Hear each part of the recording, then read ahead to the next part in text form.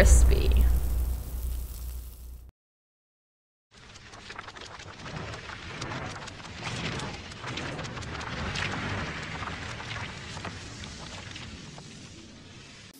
Hey guys, it's Tom and I'm back again with another haul video.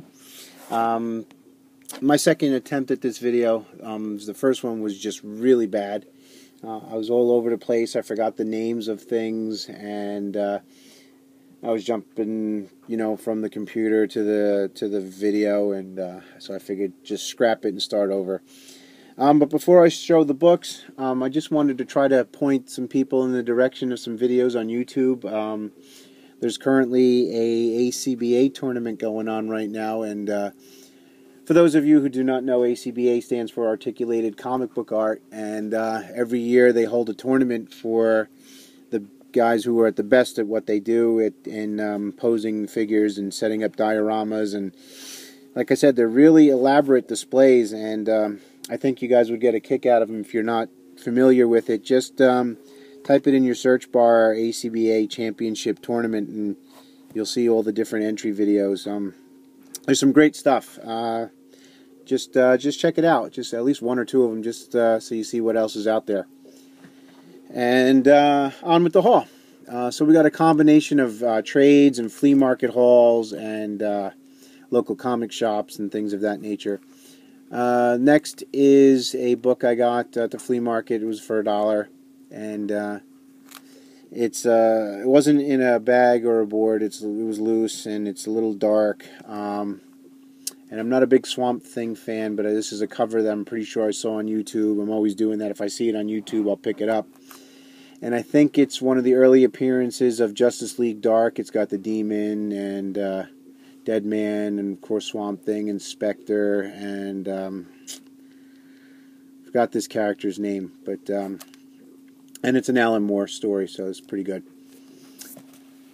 Um, next book I hear I got for 50 cents as well. Again, loose. Um, and if you look this book up on eBay, people are asking anywhere from 15 to $20 for it. And um, it may be a, a, combination of the season two of Daredevil, um, with Bullseye is going to be in it, and the Punisher is going to be in it.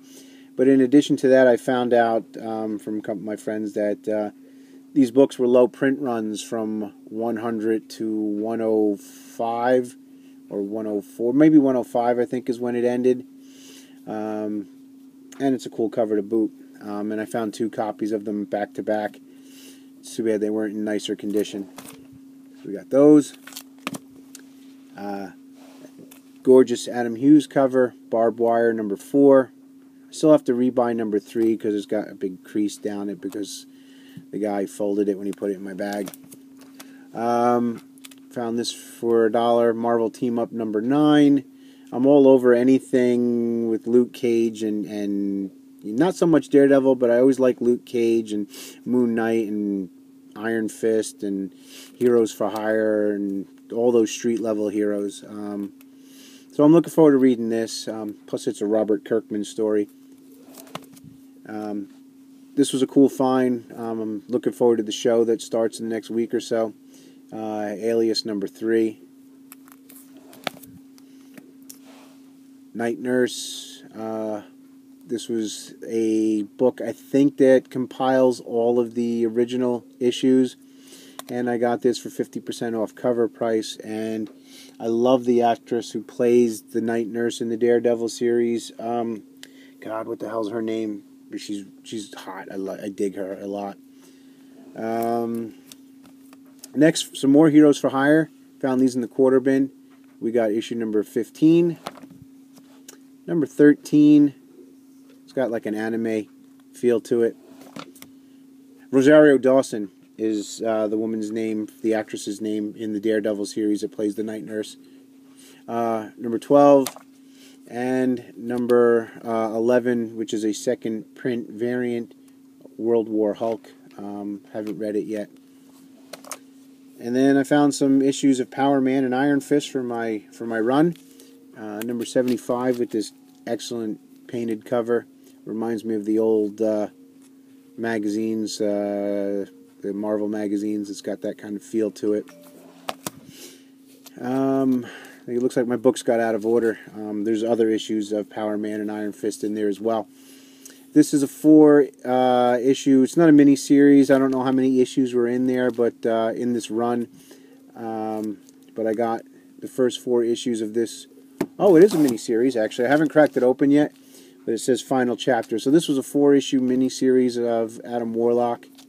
Uh, haven't cracked this open yet, but was, for five bucks, I'd figure it worth a read because I'm a big cosmic fan and love Adam Warlock.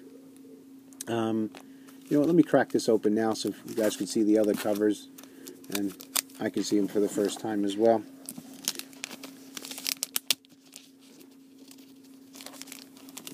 Make sure I don't get a tape pull on my covers. Hate that. Did that only really one time on an older book. I got a tape pull on it. Um, can't remember which one it was. It was like a, a 60s book. That's just a filler issue. Um, so we got number one. This is interesting. Uh, number two, Captain Marvel back from the dead. This is cool. Number three with uh, versus Drax. And of course, number four. So this looks like it's going to be a very exciting read. I'm looking forward to checking that out. Maybe I'll read that tonight. Uh, Eternals, number one. Um, there was some talk about this a little while ago, getting some sort of play in some sort of TV or, you know, movie. Um, and I always get the Eternals mixed up with the Celestials. Um, but this was issue number one. I got it for six bucks. Captain America 359 cameo appearance of uh, Crossbones, and um, I don't know where he appears in this book. I've read it twice, and I, I don't, I couldn't really spot him. Uh, Amazing Spider-Man issue two, and these books are all out of order because I've reshot the video. And then uh, number one, so many books I've got to read still. Some more Heroes for Hire. This was a three-issue set. Uh, Civil War one, two, and three. Got this for a dollar. X Men number 258. Uh, early Psylocke appearance. Iron Man number 9, uh, second print variant. Crash Ryan, um, there was talk about this being optioned for something as well. Got this for 50 cents. And if it doesn't go anywhere, I thought it was kind of cool anyway since my last name is Ryan. Uh, Marvel Team Up issues, I got number 51 and number 49 and number 50. And it turns out number 50 is a double for me. I hate when I do that. But it gives me the opportunity to trade with you guys. And I got some books in, in this haul um, as a trade. Speaking of trades, um, this is like a, a trade paperback. Um, it's a uh, Marvel Fireside, uh, I think that's what it was referred to as. And this was Marvel's uh, Great Superhero Battles. It's got a John Romita uh, Senior cover and this came out in the late 70s and I got this for only two dollars the only problem it has is this bottom corner um, but I'll pay two dollars for this all day every day. I have a gorgeous copy of a um, another fireside book called uh, Bring On the Bad Guys. Uh, there was also uh, a woman women uh, of Marvel issue and a couple of other ones. I'd like to get them all. Just for the covers alone because they're really nice. And it brings me back to when I was a kid. Like everything in my collection does. Um, found another Bone uh, book, uh, and this one's a compilation. Um, the, the, first six issues, so I'm glad to get this, and I'm going to give this a read. I'm still trying to chase down those uh, Scholastic books. This is a $2 item I got from the flea market and it's a it's a notebook, a hardcover, and I'm going to use it to put my wish list in uh, what books I'm looking for. Uh, this next book I got uh, in a 50 cent bin, and I found it the same morning that Mercenaut showed it in his video. Um, kind of cool when he puts his videos out um, on Saturday mornings and right before I hit the flea market. And uh, I came across this. This is the uh, the more desirable of the two issues, from what I understand, uh, the second print variant because it's got the the rescue armor for Pepper Potts on the cover. And this I grabbed in this uh, in the same box. And this I only grabbed it because it was a, a variant cover. Um, Avenging Spider-Man 15.1. I don't know if there's anything significant about it. Like I said, it was excuse me, a lot of talking, so I'm getting a dry throat. Uh, a second print variant. Very, very, very stoked to find these. Um, I found these next two books on eBay. Um, got them for a total of seven dollars, six or seven dollars, including the shipping. And um, I've been looking everywhere for these Bettie Page comics. Uh, I think this one here is a one shot. Um, amazing Dave, Dave Stevens cover, and there's three stories inside. And this is a three issue uh, set. I've still got to try to find the other two issues um, Queen of the Nile by Jim Silke, um, and his name will come up again later in the video uh, for another Bettie Page thing that I picked up. Uh, I got this for $3 on eBay. Um, it was 99 cents and $2 shipping. Um, a Danger Girl Dynamic Forces variant. Uh, it's got this amazing 70s feel to it. Uh, I, I love J. Scott Campbell's work on Danger Girl, I think, more than any other title. And it's got that uh, Dynamic Forces certificate to it, which kind of means nothing. Uh, this next book I got in a trade with Comic Fan, and a link to his channel will be in the uh, description. And uh, I traded him uh, the first appearance of the ventriloquist for this amazing Adam Hughes book that I've been hunting ever since I saw it in Mercenauts video over a year ago. And the price on this book is, is just astronomical. It used to be a, a cheap book, from what I understand. It was just like in bargain bins, and now it's. Um, I guess I think because of the YouTube community, more people get to see these books and they want them, and uh, drives the price up on them. And uh, that's the only reason why I wanted this book is because I saw it on YouTube, and of course I collect Adam Hughes stuff. So I was glad to get that. Thank you, sir. Uh, this next book is I'm really stoked to have. Um, so a uh, kid that I work with um, went to New York Comic Con and uh, he got to meet J. Scott Campbell and he got him to sign my Amazing Spider-Man 607. Uh, I wish I got to uh, go as well, but I couldn't, and uh, very happy to have this in my collection. Um, so thank you, Carlos, if you're watching. I appreciate it. Uh, next is some books that I got in a trade with Michael Jocko. And uh, we've been working on this trade since like July, I think. Um, Michael got his books, he told me, in the mail today. Today's Friday, uh, the 30th. Tomorrow's the 31st. Um, and he told me he was happy with his stuff, and I'm definitely happy with mine. Uh, he knows I'm a Red Sonja fan, and picked up a couple of issues that I needed for this title, She Devil with a Sword number 38, number 36,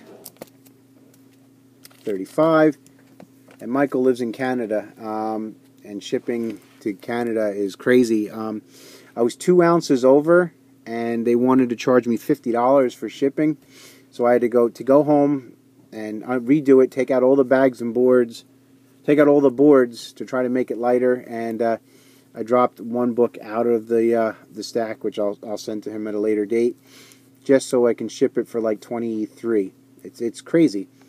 Um, got this gorgeous blue foil one shot of Red Sonja. It's a variant, uh, blue foil variant. Uh, number 40, 46. Um, this is another reason why I, I, reshot the video because I said that this was a Frank Cho cover, and I should know better because I'm a fan of uh, this artist and it's Art Adams. I'm also a big fan of Frank Cho as well, who's in the next uh, next cover. But um, this is a book I wish I had when I was at the Comic Con uh, earlier this year. Um, Hulk number eight, Art Adams, and the variant cover with Frank Cho. And then he also found this Michael Turner uh, variant cover for me for number six for the Red Hulk. And some issues of Bone, number six from Image, and number 38 from the cartoon books. And uh, pretty thick book. Um, it's almost as if it was a double issue. And then some Amazing Spider-Man issues, number 157 and 168. Very happy to get those. Anytime I can get Spider-Man under 200, uh, I'm really happy to do that. And some issues of Power Girl from my run, number 3. Um, some Micronaut issues. Um, I'm trying to complete this set and on the cheap because it's real easy to complete on the cheap. Um, number 40 and number 41. And then some more issues of Power Girl, number 23, number 7, number 13, number 22, and then Dracula, number 49. Um, this is a book that's starting to get uh, some some popularity to it, and it's the uh, first appearance of the new Blue Beetle. Um, this is the Jim Lee sketch variant uh, for Infin Infinite Crisis number three. I had this set back in the day in one of the first trades I made, uh, one of the early trades I made with Fool Killer, I think. If it wasn't Fool Killer, it was uh, Vin Crew. Um, I traded the whole mini series away, um, but you can I can easily get them back. They're not too hard to come by. Um, so I found the sketch variants uh, for number three, which is the first appearance of the the person who plays the new Blue Beetle, and I forgot his names. I always mix them up with the uh, the Ultimate Spider-Man, you know, that character. Um, uh, but this is the book that has his first appearance in the new Blue Beetle costume, number five. And then the one you want to get is the one that actually has him on the cover. So I'm going to be chasing that one down until I find it. And uh, hopefully I'll find it in a bargain bin. Another Adam Hughes cover, Tomb Raider number 41. And uh, there's his little AH on the bottom. Zatanna number 7. Uh, this is an artist that I got turned on to by uh, Vin Crew. Um, it's Artgerm. Um, Birds of Prey, number 8. This is a really gorgeous cover. Glad to get that. Another J. Scott Campbell cover. X-Men, uh, 1 of 4, Worlds Apart. This is a book I got for $3. Uh, it's uh, Psylocke, uh, number 2 of 4 and 1 of 4. Got that for $3. This book I got for 50% off as well. And this was like a dollar twenty-five or something. Yeah, dollar twenty-five. Um, and the interior art and story on this is just garbage. Um, the only thing that this is good for is the J. Scott Campbell cover. It's a nice cover. Last couple of books, uh, the movie adaptation for Supergirl. This was only a quarter. And then some books that uh, I picked up for my Power Man and Iron Fist run. These were only a buck a piece. Number 93, number 69. And one day I want to sit down and just read the whole run when I have it completed. I haven't read any of them yet, including uh, no, I have read um, Luke Cage number one because I had the the re Marvel uh, Marvel Legends reprint, so I've read that. It's the only issue from this entire run that I've read.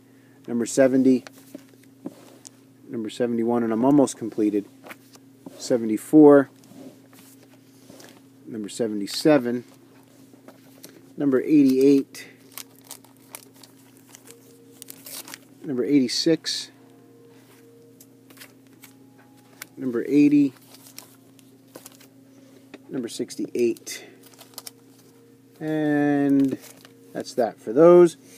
And then this I picked up. It's the only monster variant that I like this year that I've seen so far. It's the Harley Quinn one, number 21. So I'm glad to get that. Um, heavy metal. I found a couple issues of this. The artwork's always interesting in these, um, and they were only a dollar, so I figured I'd pick them up. This I found it's in really ratty condition, but it was only 50 cents. And, you know, with the whole Star Wars thing coming out, the movie coming out, um, this Return of the Jedi uh, Collector's Edition book was only 50 cents, so I figured I'd grab it. I'll rebag this at some point. A Punisher magazine I grabbed, number 12. And last, uh, this uh, gorgeous uh, Bettie Page book um, by Jim Silke. He did one of the, the, the covers to one of the other comics that I had shown. Um, got this off of Amazon for only $6. Um, it's a pretty large book. Um, it was only it was twenty dollars back when it was re released. I got it for six, um, and that's it. That's our little haul for this time. Um, I've got a lot of other books to show. Um, you know, from some other trades that I made with uh, Scott X thirteen oh seven, Matt Comic four ten, and Vin Crew. Um, I'm going to show their books next time um, and some other stuff that I picked up from the flea market today. I went again today. And um, thanks again for watching, everybody. And um, be sure to check out some of those other videos that I had told you about. Um, and until next time, you guys take care of yourselves.